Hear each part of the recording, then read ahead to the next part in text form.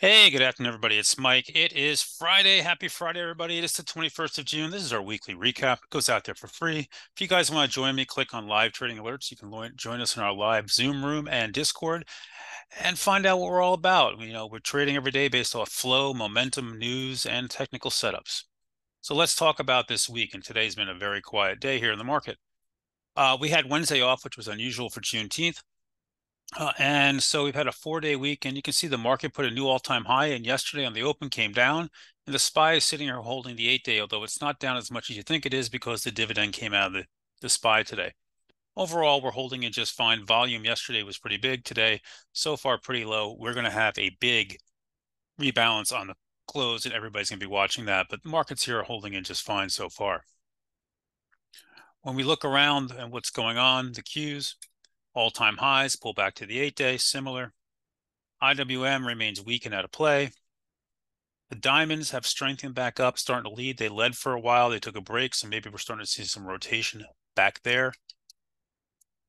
Energy trying to wake up a bit. Not much going on. You can see I have a downtrend here. You know, we'll we'll see if this comes up and test that. The financials are holding in. JP Morgan looked good yesterday, but look at this gap down and today it just you know, we're just not getting great kind of action in these names right now. They're just not there. The SMH has put a new all-time high in yesterday. We had an ugly candle yesterday and some follow through to the downside today. Currently, we're underneath the eight day. NVIDIA is going to be upsized in the XLK from four from six percent to twenty two percent it had a big nasty candle then follow through uh, yesterday and follow through today as well underneath the eight day. So, you know, now it's a time to be a little more cautious. The 21 day down there at 120 might be in play. We'll keep an eye on it. We'll see what it does. Uh, we saw a lot of these names get hit yesterday. Uh, ARM, ARM got hit yesterday. Uh, Micron got hit hard yesterday. Uh, we were trading Dell for uh, two days yesterday. That came in. Same thing with SMCI. You know, that got hit as well. Uh, AMD had a beautiful candle yesterday and it kind of stuck here today, but kind of holding in. You know, uh, we talk about the same names all the time because they're the ones that are in play. By the way, Carvana here is raging highs of the day and pushing up. Uh, Bitcoin's been weak. Coin has been coming in. Um, not much going on there. And then we're back to names like Microsoft. Microsoft today, nice push, held in strong, just missed the all-time high.